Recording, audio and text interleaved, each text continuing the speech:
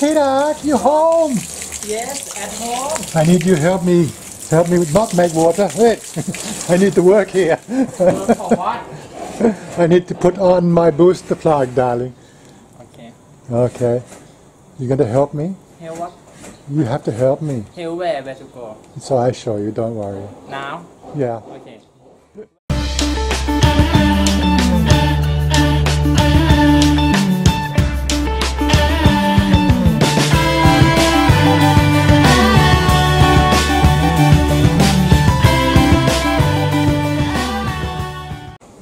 Yeah, so my assistant's here.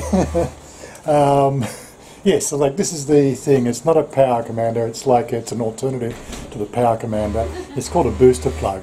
What it does, it um, regulates the um, the air fuel mixture by telling the the computer system that the temperature is actually about 20 degrees lower. So it actually makes the, um, the fuel more richer right and so we're going to put this in today uh, now I've watched a couple of videos but I'm also going to do a video for us doing it um, because I don't have anywhere near the luxuries of these people with a garage. I've got the outside of the house. Um, I probably could take it down the road and get one of the guys to do it but uh, then he's just to have as much trouble as, as what I am.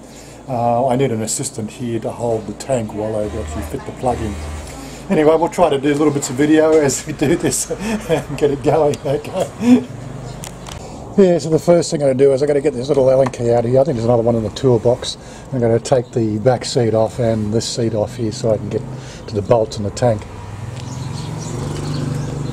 Okay, so we've taken the pillion seat off and the main seat off. This is one of the bolts we've got to take off, but uh, to get to the um, the, the, other bolts I've got to take off the front piece here and from what I've seen in the videos I've also got to take off these side plastic pieces as well they basically slip off from the back. Okay so we've taken the sides off and now we've exposed the three bolts. There's one two and three bolts here.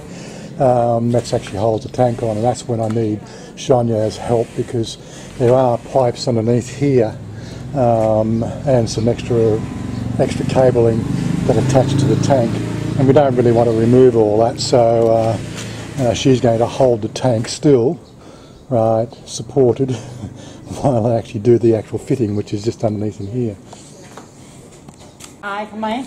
okay you feel strong now not too heavy Don't worry, I feel strong. you sure Yeah. okay open up a little bit up more he lift more here okay a little bit more See, what we've got to get to is here. Right, so she's going to just support that while I loosen this thing here off and put the booster plug in. You can actually get to the uh, connecting here, but uh, uh, well, we're just going to just play around with it a little bit. Okay? So we've just loosened that bracket off. What I've got to do is undo this thing here, and the booster plug basically fits in between that line there. So what we've got to do now is the fact that where it's positioned there's the little computer chip that's sort of sitting there. I've got to get that up inside the tank area. Uh, there's no need to actually fix it anywhere, it's not going to go anywhere. But this little device here, this is the actual temperature sensor. They say this needs to be sort of put somewhere away from the direct heat of the motor. There is a sort of a, a position up here near the yoke where the fuel line, where the um, brake lines go through. So I'm going to sort of attempt to sort of fit it inside there and see if that works. Um, yeah, so of course I can't do it. I need an extra set of hands for the camera, but let's not worry about that.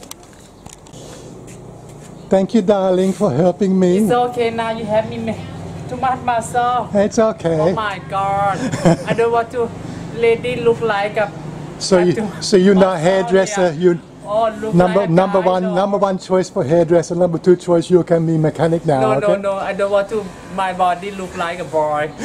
you sure? I want a cylinder. All right. anyway, so it's back on now. I just got to do all the bolting up again, and away we go. Fairly straightforward little thing to do. Now I could have been doing the uh, air filter as well. Bob says change the air filter, but like, the thing is it hasn't done done 1500 kilometres. I don't want to waste money on another air filter. It's a fairly straightforward job getting in and out, as long as you've got an assistant. So we'll worry about that next time. And there we go, the uh, trim is now all on and the side panels there are on. All I've got to do now is whack the seat back on and uh, give it a try. Well, the thing's fitted in. It's still going, so I'm quite happy with that part of it. Now it just takes some time for the thing to recalibrate the whole air fuel mixture again as well. Um, so we still don't know about the engine light. You can see the engine light's on, but I haven't written it, it anywhere. I think I'll just take it for a short run just around the, the local soi here and see how it feels. Recording.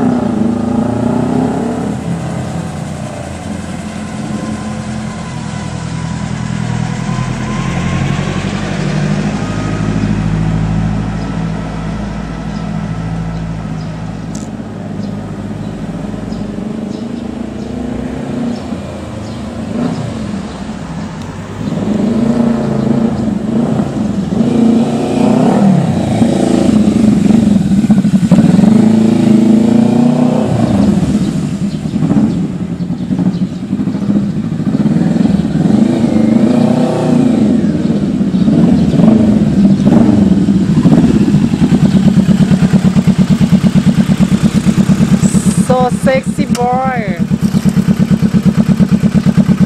Boy to the horse. Da da da da. Ta ta ta. Ta ta ta. Boy to the horse. Da da da da. Ta ta ta. Ta ta ta. Ta ta ta ta ta. Keep her so. Ta da da da. Ta ta ta. Ta ta ta. Ta ta ta ta. It's okay. It's okay. I'm sure. So it's not actually easy to tell, like I'm going to have to obviously start riding it, the motor really hot. Um, but what I have noticed is the fact that the poppings stopped on deceleration. I took it around the block before she did the filming and gave it a good blat out to about 8,000 RPM and uh, then full under full engine braking and there was no popping, um, which is one of the things that was concerning me. Now the only thing to do is, you know, like find out more about this engine light, why this engine light wants to stay on. It's uh, part of the ECU. The ECU shouldn't need any remapping, um, you know, just for the, you know, the extra airflow. But the thing does smooth, feel a downside side smoother, so Bob's recommendation there has really sort of made a bit of a, you know, bit of an eye opener, just something as simple as that, you know, like half an hour to, to fit it. Um, and uh, yeah, so it arrived today by DHL from Denmark. Um, I was expecting to pay uh, import duties on it, but they just dropped it off at the, the door and got, you know, mother signed for it. Uh, and I thought I thought she paid for it, but she says no, there's no extra charges. So you never know. Maybe because of the fact there was a Thai here, they, they didn't. They, I don't know how it works. Um, you know, it's something from overseas. You'd expect, you know, some sort of taxes to be paid somewhere, unless of course it's all prepaid. It does just say, you know, when I bought it, it was said including delivery, and they knew it was coming to Thailand, so maybe it's all covered in that sort of thing. I, I really don't know how it works. Um, yeah, but all in all, uh, you know, this is the next modification. Um, everything's now fitted. I think I mentioned the fact that we um, we put the uh, grill down here, so we've got the little shiny uh, stone chip, uh, stone protector uh, on the on the uh, radiator. So that's all now done. Um, all in all, the whole thing looks pretty sexy. Uh, it's a pretty good looking bike now. Sounds pretty good. Uh, it's all done. I've been talking to Bob about sort of some extra cushioning here. He's actually having um, gel added to his seat um, to give it, you know, extra comfort. He says the gel gel underlay uh, just really cushions it out. One of the reasons being is the fact that because you're not actually taking any of your weight on your feet, uh, all the all your upper body weight is actually in your bum. Whereas you know when you normally ride a normal bike, uh, as you go over bumps, you know your legs tend to absorb a fair bit of bumping. Um, you know naturally it's just a natural um, tendency for the legs to do that. But when your legs are sort of you know sitting forward like they do on here, um, you do. You tend to tend to take a lot more weight on your bum. Um, so you know after a couple of hours, you know your bum starts to get a bit on the sore side. Uh, in my case, the, the coccyx, you know, the, the lower base of the spine. I had an injury when I was 15, so um, it's never really recovered, or has recovered, but you know, I am getting a bit older now, so it's starting to come back and bite me as well. Um, but all in all, it's uh, it's all done. Uh, I'm going to take a couple of photos again, and um, we'll talk to you in a second. Well, there we go. It's all done. I'm just going to put the bike away in a second. Um, now, uh, I managed to do that with all the tools that they supplied with the bike, except I did need to use a screwdriver. Uh, there's no screwdriver actually in the toolkit. Um, so if you're going to be doing this yourself, you're going to make sure you've got a Phillips head screwdriver just to loosen that bracket off underneath the seat. Um, but other than that, it's all pretty good.